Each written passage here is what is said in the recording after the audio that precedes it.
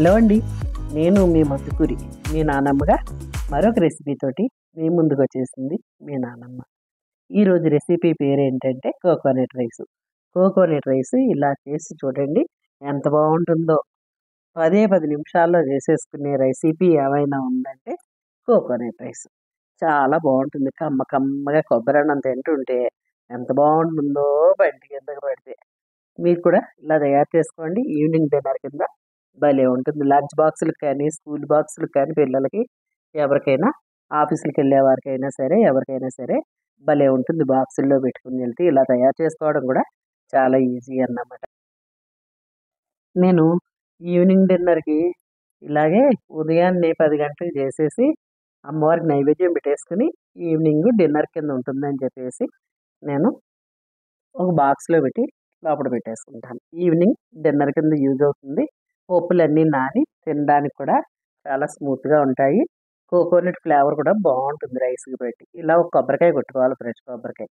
కొట్టుకుని కొబ్బరికూరని ఎంత కష్టమైనా సరే ఇలా కోరుకుంటాను ఇలా కోరుకుని చేసుకున్నది పాలు రైస్కి పెట్టి భలే టేస్టీగా ఉంటాయి.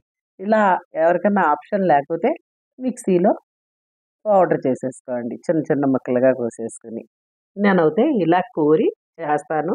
చాలా అంటే చాలా టేస్టీగా ఉంటుందన్నమాట. ఇలా కొబ్బరి కూర కోరుకుని పక్కన పెట్టేసుకోవాలి. పెట్టుకున్న తర్వాత ఒక గ్లాసున్నర బియ్యం వండుకొని రైస్ పక్కన పెట్టినాను రైస్ కుక్కర్లో. తర్వాత పొయ్యంటి కళాయి పెట్టి ఒక ఆరు స్పూన్లు ఆయిల్ వేసి జీలకర్ర ఆవాలు వేరుశనగ గుళ్ళు మినపప్పు శనగపప్పు పోపులకు తీసుకున్నాను అన్నమాట తర్వాత కరివేపాకు పచ్చిమిరపకాయలు ఒక నిమ్మకాయ అంత అల్లం కూర పెట్టుకోవాలి. రెడ్ చిల్లీ కాజు.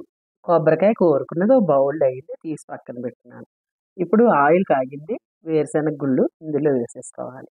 వేసేసుకుని ముందు వేరుశెనగ గుళ్ళు వేసుకోవాలి. వేసుకుంటే వేరుశెనగ గుళ్ళు తొందరగా ఆగు తర్వాత మినపప్పు శనగపప్పు వేసేసుకోవాలి. మీడియం ఫ్లేమ్లో పెట్టుకుని వేయించండి. వేయిస్తే బాగా వేయించి తర్వాత ఆవాలు జీలకర్ర వేసేసుకోవాలి. ఆవాలు జీలకర్ర వేసేసుకుని మరింతసేపు మీడియం ఫ్లేమ్లో పెట్టుకుని వేయించుకోవాలి. ఆవాలు ఏగే కొద్ది ఫ్లేవరు భలే ఉంటుందన్నమాట. ఇప్పుడు కరివేపాకు పచ్చిమిరకాయలు కూడా వేసేస్తున్నాను.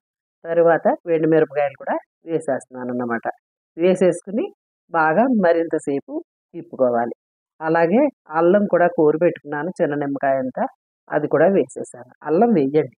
అల్లం స్మెల్ చాలా బాగుంటుంది. అల్లం కూర వేసుకుంటే అద్భుతంగా ఉంటుంది కోకోనట్ రైస్. ఇలా మీడియం ఫ్లేమ్లోనే వేయించండి. హై ఫ్లేమ్లో వేస్తే మాడిపోతుంది పోపు. అంత టేస్ట్ ఉండదు. మీడియం ఫ్లేమ్లో వేయించుకున్న పోపు ఏదైనా బాగుంటుంది.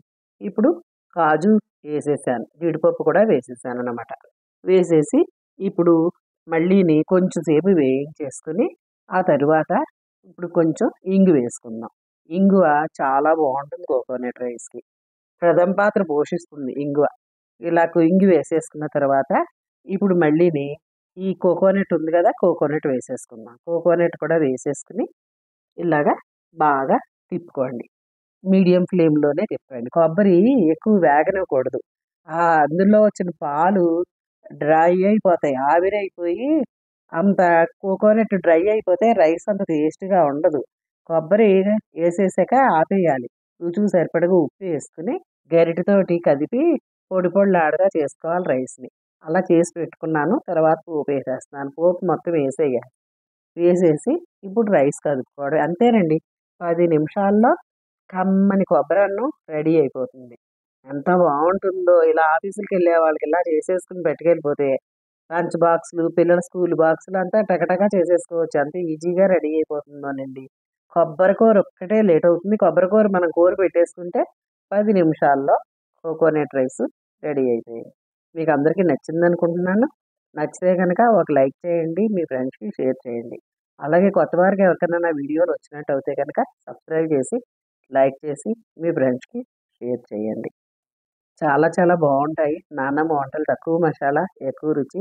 ప్రతి వంట కూడా చాలా ఈజీగా చేసేస్తుంది మీ నాన్నమ్మ నాన్నమ్మ వంటలు ట్రై చేసి మీ అభిప్రాయాల్ని కామెంట్ బాక్స్లో తెలియజేయవలసిందిగా కోరుకుంటున్నాను. ఇంతేనండి. సర్వింగ్ బౌల్లోకి తీసేసుకుని నేను సాయంకాలం వరకు పక్కన ఇప్పుడు అమ్మవారికి నైవేద్యం పెట్టేసుకుని పూజ చేసుకుని నైవేద్యం పెట్టుకుంటాను. స్నానం చేసే నేను ఈ రైస్ రెడీ చేసుకుని ఇలాగా అమ్మవారికి నైవేద్యం పెట్టేసి మూత పెట్టేసి ఉంచుకుంటాను. ఈవినింగ్ పిల్లలు వస్తే పిల్లలకి డిన్నర్ అయిపోతుంది.